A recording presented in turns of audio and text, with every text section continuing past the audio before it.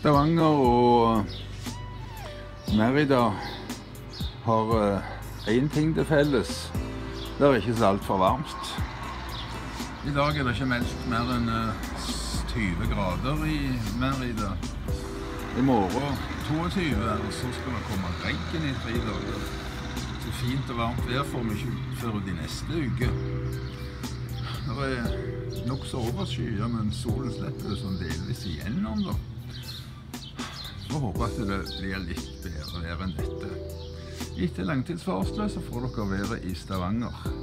Der er det altså sol og ja, det ser veldig bra ut. Men det er kaldt, som sagt. Men først er langtidsvarselet.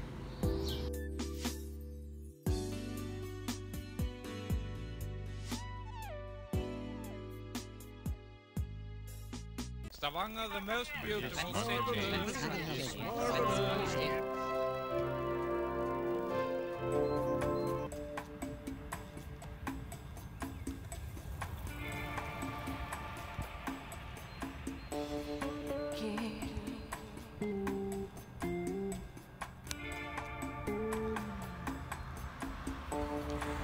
Ja, det er vel over gjennomsnittlig solfylt i Stavanger i dag. Kan ikke si det på noen annen måte.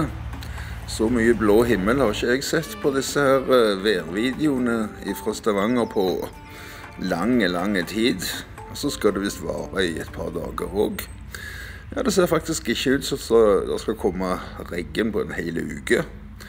Men eh, temperaturene er jo lave, da, så du må kle godt på deg for å gå ut og nyte denne solen. Men eh, jeg kan ikke si noe annet enn at det er jo bedre med sol og litt lave temperaturer enn pissevær og sludd og gråvær hele veien. Så uh, dette er jo et klart pluss. Hvis bare temperaturene klarer å komme seg opp på et anstendig nivå, så er Stavanger en nydelig plass. Stavanger er en nydelig plass om ca. tre dager i året i snitt. Og uh, ja, den, jeg husker spesielt en dag som var i august i eh, 1998. Det er jo litt sprøtt å huske været på spesielle dager så langt tilbake i tid, men det er lite fint vær i Stavanger, dessverre, dessverre. Her ser dere langtidsvarselet. Se her, det skal faktisk være sol og delvis sol de nærmeste dagene. Ha en riktig god dag i Stavanger.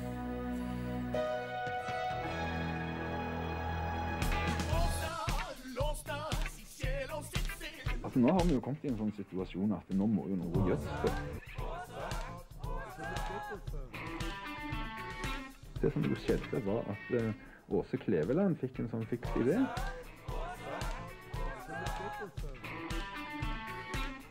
Sa at nå skal det kun være én lokal-TV i hver region. Det er hetenskap.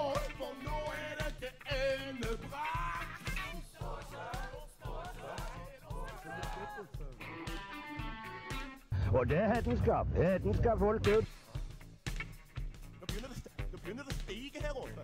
Det Det som fremgår denne kringkastingsloven, det er bøter eller fengsel inntil seks måneder for overtredelse av denne loven. Nå begynner det, nå begynner det å stige her oppe.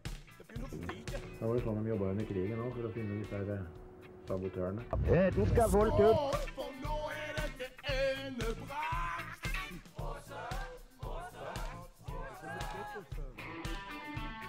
If you don't have any art, you're pretty much lost.